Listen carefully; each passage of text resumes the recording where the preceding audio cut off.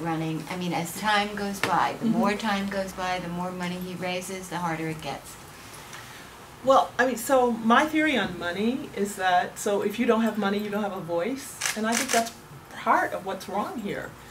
We have a tale of two cities in this, and everybody's been talking about that. There's a, the the part of the city that where there's money, and the part of the city where there isn't money.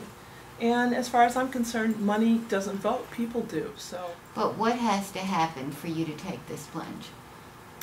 there has to be a lot in place, Fran. I mean, it's like there has to be organization in place. There has to be a variety of things that aren't there yet this moment. So that's why it's like impossible to make a decision right now.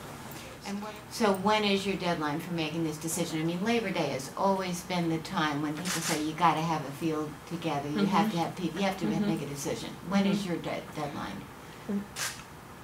My deadline will be my deadline, whatever it is. It will it will just be whatever it is, and I'm not ready to even discuss what the deadline looks like.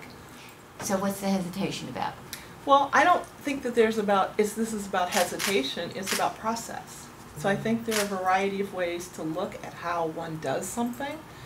And I think process is extremely important. No, I feel that the decision that gets made will be based on what's best for the city and what's best for me and my family. So that's how those decisions get made. Okay, so you're not pressured to do it because you're out there on a limb here, No, not at all. and you might not, you might not do it. Mhm. What are the chances that you might say, listen, I don't think I'm gonna do this? I think it's 50 50. Really? Yeah.